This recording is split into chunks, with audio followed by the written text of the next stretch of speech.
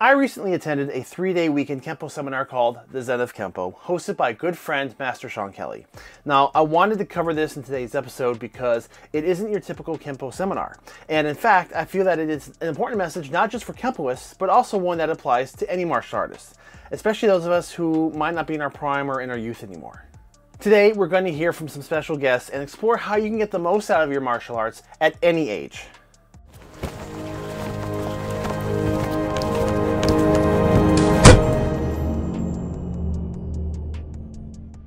For many years, Master Kelley held massive annual seminars that attracted people worldwide and explored the dynamics of American Kenpo. In recent years, Mr. Kelley has scaled back the seminar to focus on deeper themes. Themes that offered more than just the traditional busting and bruising practice Kenpoists are known for. Kenpo was represented by both the tiger and the dragon. The tiger for raw earthly strength and the dragon for higher wisdom and peace. So how does this seminar marry the two together? What is the Zen of Kenpo? The Zen was to show the martial artist as a martial human to find out more about who they are and find now in their journey uh, how to find balance, mind, body, and spirit of all ages. And regardless of where they come from, but a majority of our group this particular weekend were above 50. Most of them are experts. They're above black. Some are above even fifth degree, which means they're still willing to learn. And so they have the injuries. Let it be through sports, let it be just anything from a, bru a bruised knee to a, a knee surgery and shoulders, all the things that happen in almost any sport activity. We want them to learn how to use their martial arts as part of their therapy of better life and to go back to it and slow down a little bit. And my platform was to also give new instructors the ability to step outside of their normal comfort zone and give them a broader audience of working with black belts who are seasoned black belts. And so you get the grandmasters uh, like the Bill Superfoot Wallaces. Here's a guy who is known worldwide, who has a, a degree in kinesiology and physiology, talking about the science of how to stretch. He talked about at 77 years old, after four hip replacements and, and operation on his one knee, he's still doing it. Alex Perez had, this is his first time I invited him to start bringing out the forms. And he did short three, and his instructor is Master Ken Herman, who's actually written books on the forms, I believe, up until short three, long three. But I mean, it's like an encyclopedia that he's brought to the table, which means for those intellects who really like to go into the ingredient deep down and, and, and get into the DNA, he put those in a manuscript where you can now, outside doing your physical, you can sit there on your own and just start reading in between the pages some of the content that you may go, man, I, I didn't realize it was so in depth.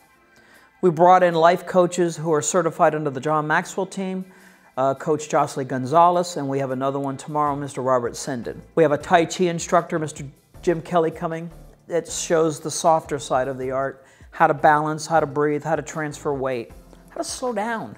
And I get the physical, this is fun, let's see how many bruises and bumps we can get as our trophies, but there comes a point in time, most of us don't know in our audience what's going on with those people, what sicknesses they may have dealt with or still are. Uh, my name is Jocelyn Gonzalez. I am a neurobiologist. I'm a life coach. Um, I've had a very interesting um, journey uh, all throughout. I love the martial arts um, train in my own capacity at my age. Um, but I have learned um, to also adapt a lot of lifelong lessons into the martial arts, not only training for myself, but being a mentor to kids. It's interesting because our uh, brains think we're still 25, even though we're maybe 60, 65, 70 and beyond. Um, our brains have that memory of who we were back in the young ages. And so um, I love the fact that we are able to um, kind of work with where we are in, a, in our own capacity and at the same time allow us to um, enjoy what we love. Zen is, is a way of doing something, not the same for everybody. So it's, it's what you get out of it, it's what you feel about it. It's uh, the training, the training, the, the movement, the, the aspects of, of, of life itself. You know, I've been doing this since 1963, basically 57 if you count my wrestling background, which is still a martial art my livelihood, my life, it's still a, a blast. I have an absolute blast doing this. Still fun kicking people too. And we're all getting older, but the knowledge and everything that you get from the Zen Kenpo as far as uh, how to how to become one with your spirit, your mind, your body, and everything. Um, how to have a peace about yourself. One of the first things that Mr. Kelley and him talk about in the beginning is, you know, none of us are who we used to be. We're not doing those jumping, flipping kicks and spinning around, and we can't do it. But it doesn't mean our, it's not still in our minds. And but what we can do is we can adjust what we know and make it work for us, and do it with ease. When you're young or just beginning to train in the martial arts, it can be an exciting time. Getting fit, learning how to fight, conditioning, and taking your thumps.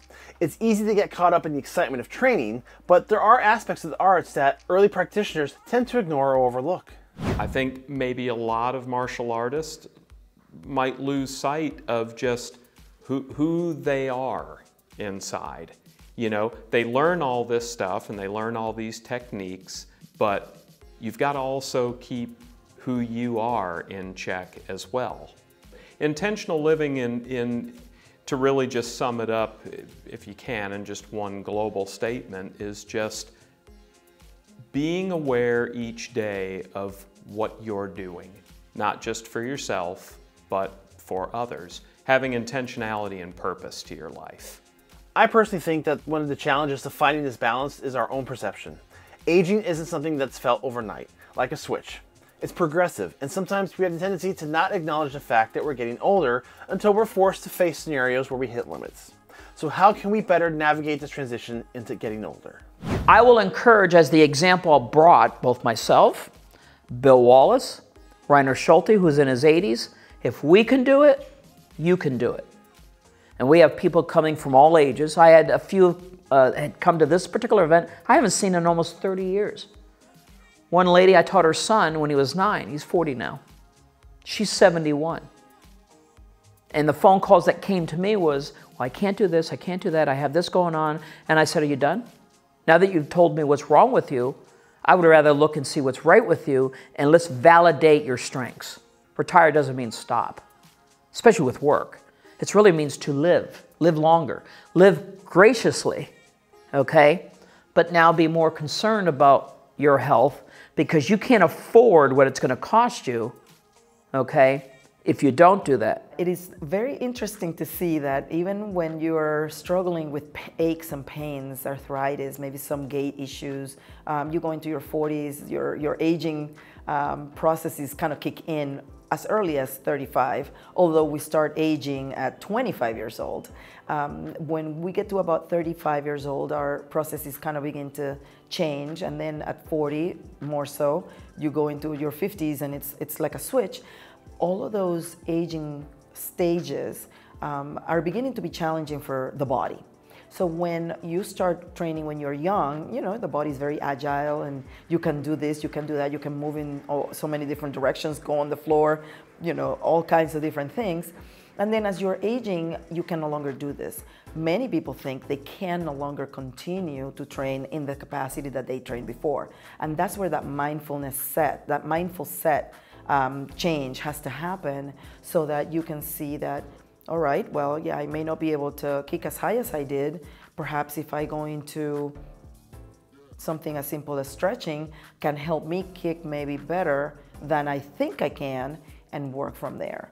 Um, so it's an adaptation. It's really to adapt the thought of continuing to enjoy what you're enjoying, what you're what you've been doing for many years, and then from there, um, learning that you're probably gonna have to make a, a few compromises, but don't stop more than anything else, it, it, it, it can be done at a ripe old age. You can do it the, your entire life. You don't have to do it hard. You don't have to do it fast. You don't have to do it strong. Just do it because it, it's, a, it's, a, it's an education. It's a physical education. It's a training session and it clears your mind to where you can have clear thoughts. It's something you can do forever. I've, I've done it now for 60 years. Never too late. It's never too late to start. Some people, you know, I've had 70 year old people, 12 year old kids, six-year-old kids. Uh, the older the better because see the, the good thing about older people is they don't have the strength to make it wrong. So they have to do it right. They're still human. that they're still human and are not invincible. That's it. It is even more critical to take good care of yourself, to really monitor and watch your health. And I know that when you're in the martial arts, there, that's a lot of physical, there's a lot of, but that doesn't necessarily translate into health all the time. So I think that becomes a critical component because without health, you really don't have a whole lot. This seminar and series of classes went on for three days. With so many great guest instructors and lessons, the amount of information can be overwhelming. If you can attend the seminar and walk away with a good nugget or two of information, something that you could really apply to your own life and training, then it was worth it. So with that question in mind, what would be the key takeaways with the Zen of Kenpo?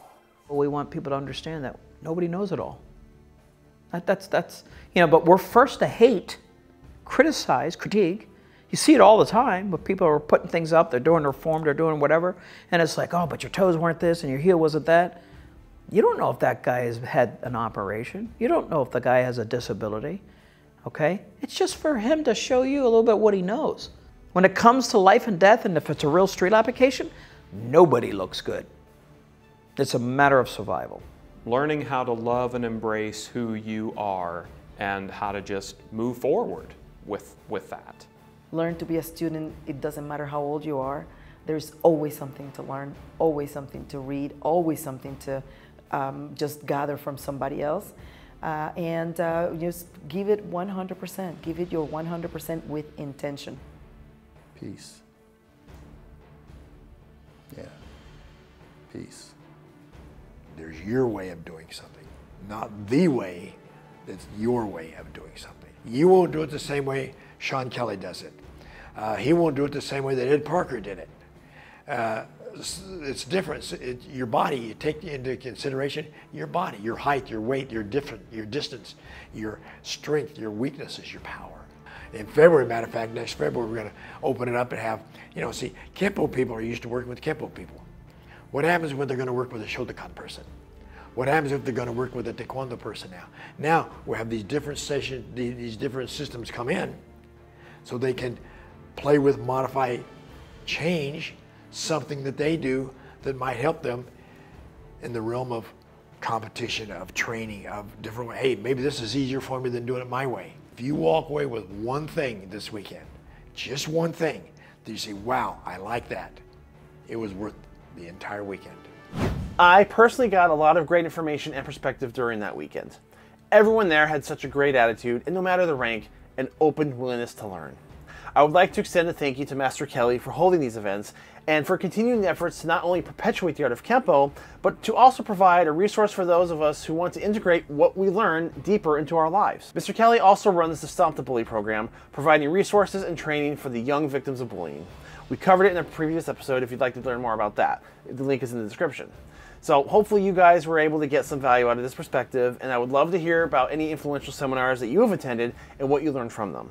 Now, I was lucky enough to be asked to teach a class from Mr. Kelley's Zen of Kenpo seminar in 2020, and it was a fantastic experience. The complete video of that class is available for our Patreon and YouTube Black Belt members, so you can find that there in its entirety. Thank you so much for watching, and we'll see you next week.